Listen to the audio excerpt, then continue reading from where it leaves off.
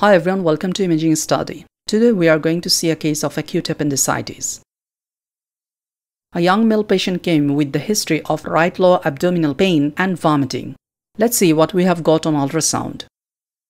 Here on high frequency ultrasound, you can see the right iliac fossa on cross section shows a round structure with presence of gut signature. On longitudinal section, you can see this elongated blind-ended structure shows the gut wall and you can see this is the adjacent echogenic fat stranding areas.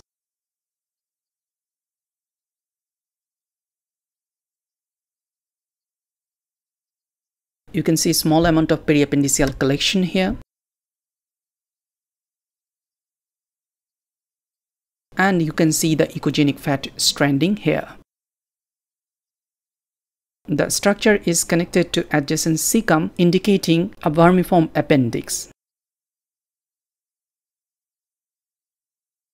So as the diameter, the structure was around 11 millimeter, more than 6 millimeter indicates acute appendicitis. You can see a small amount of collection here and the surrounding echogenic area indicates the fat stranding. So in summary, a blind-ended distended non-compressible tubular structure of intestinal origin connected to adjacent cecum and measuring about 11 mm in diameter with presence of gut signature with surrounding fat stranding and a small amount of adjacent collection is noted at the right fossa, suggesting acute appendicitis.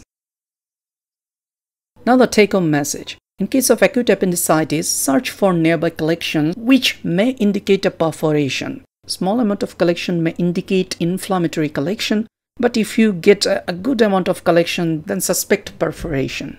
For further confirmation on ultrasound, you can check any breach in the continuity of echogenic wall, which may help further. Thank you for watching this video. Subscribe to our YouTube channel for more interesting videos. See you on the next one. Have a nice day.